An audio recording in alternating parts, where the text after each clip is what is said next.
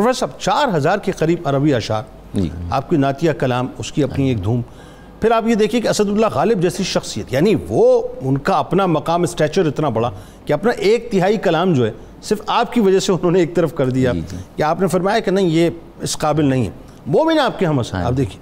और उसमें आप इतने नुमाया कि बड़ी बड़ी शख्सियात जो हैं वो आपके आगे बिल्कुल आप यूँ समझ लीजिए कि घुटने टेक की जो बैठा करती थी। ज़रा बताइए आपका अदबी मकाम और अदबी मकाम में ख़ास तौर पे जो आपने शायरी के ज़रिए से इश्क रसूल को प्रमोट किया और ख़ास तौर पे नज़रियात और अकायद के हवाले से उसकी जो मतलब एक बहुत सी बारीक लाइन थी उसको डिफ़ाइन किया कि ये लाइन है इससे इधर उधर नहीं होगा जी बहुत बहुत शुक्रिया जहाँ तक फजल साहब के इल्म और अदबी शनाख्त का ताल्लुक है ये बहुत बुलंद है हम्म। दीवान गालिब जो है इसका इंतखब जो मौलाना फजल खैराबादी साहब ने किया वो ही हम्म। छपा।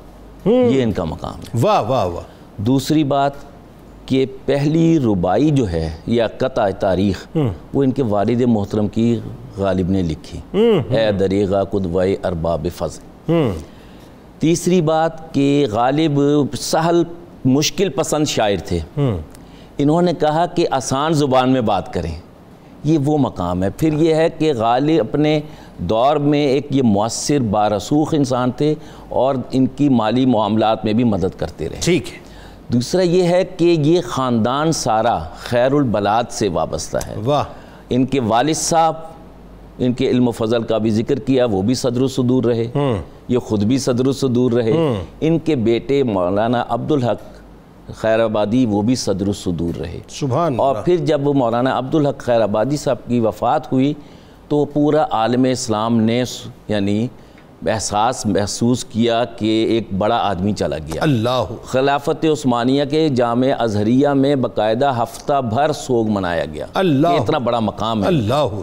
अब इनकी जो शख्सियत है जैसे कि अभी ज़िक्र हुआ इनके दो पहलू बहुत नुमाया हैं। हम्म। एक तो ये कि इन्होंने मुजामती तहरीक को यानी आगे लेके चले। ठीक है। शाह बहादुर शाह जफ़र ने ख़ास तौर पर इन्हें बुलाया इस काम के लिए। तो इलवर में थे। हम्म। वहाँ से आए और तकरीबन चार माह की पाँच माह की जो थी आज़ादी जो थी दिल्ली पर जब मुजाहिदीन का कब्ज़ा हुआ तो ये ही नुमाइंदा मुंतज़िम थे डायरेक्टर किंग काउंसिल थे हम्म। और फिर इन्होंने दस्तूरुल अमल बनाया। वो दस्तूरुल अमल के नफाज के लिए जो कमेटी बनाई उसके भी एग्जेक्टिव डायरेक्टर थे। हम्म। फिर लोग जो थे उनमें यानी तरगीब पैदा की जनरल बख्त खान और ये मौलाना सरफराज साहब। ये तीन आदमियों की काउंसिल थी जिन्होंने फतवा दायर किया।